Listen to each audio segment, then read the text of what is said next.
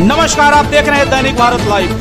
पूर्व के लेन देन को लेकर जल्दसाजी के साथ दैनिक भारत अखबार के पत्रकार पर हुआ झूठा मुकदमा दर्ज। पत्रकार ने की इस घटना की कड़ी निंदा।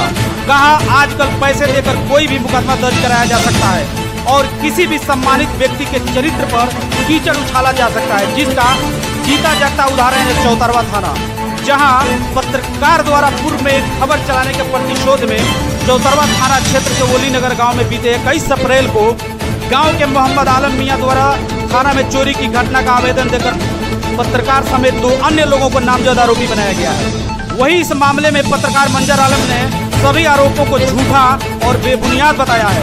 उन्होंने बताया कि 14 अगस्त 2008 को मेरे पिता द्वारा आलम मियाँ को दस हज़ार ईट वास्ते पंद्रह हज़ार रुपया दिया गया था, जिसकी वापसी हेतु पंचायत भी हुआ था। इसके बाद मामले को लेकर आलम मियाँ के विरुद्ध चौतरवा थाना में एक लिखित शिकायत दर्ज भी कराई गई थी।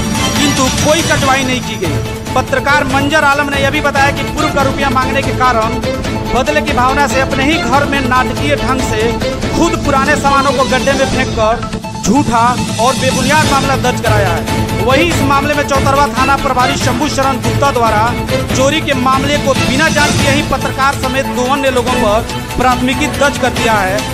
पत्रकार ने प्रशासन से मांग किया है कि इस मामले को गहनतापूर्वक जाँच होनी चाहिए।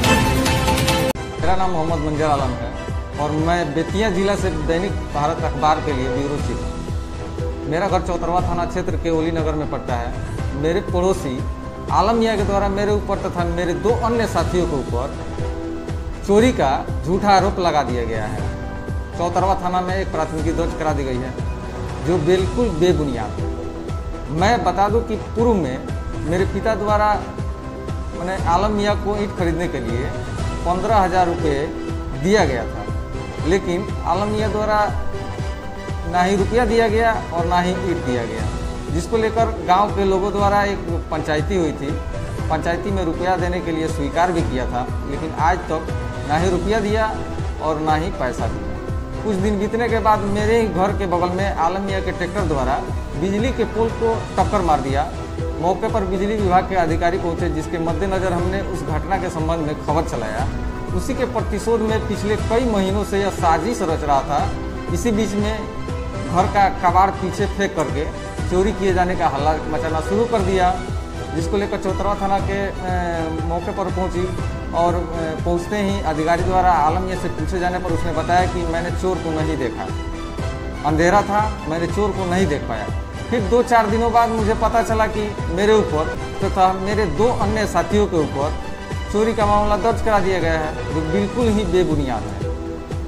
क्या चाहते हैं? क्या होना चाहिए? मैं प्रशासन से मांग करता हूँ कि इस मामले को गंभीरतापूर्वक जाँच किया जाए जिससे दूध का दूध और पानी का पानी हो जाएगा इस मामले में आपने थाना प्रभारी से बात किया था? हाँ थाना प्रभारी से मैंने बात किया था। उन्होंने बोला कि ये आवेदन सिर्फ़ पड़ा है।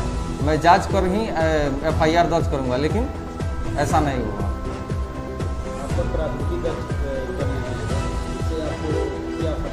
मेरे छवि की धूमिल की गई है।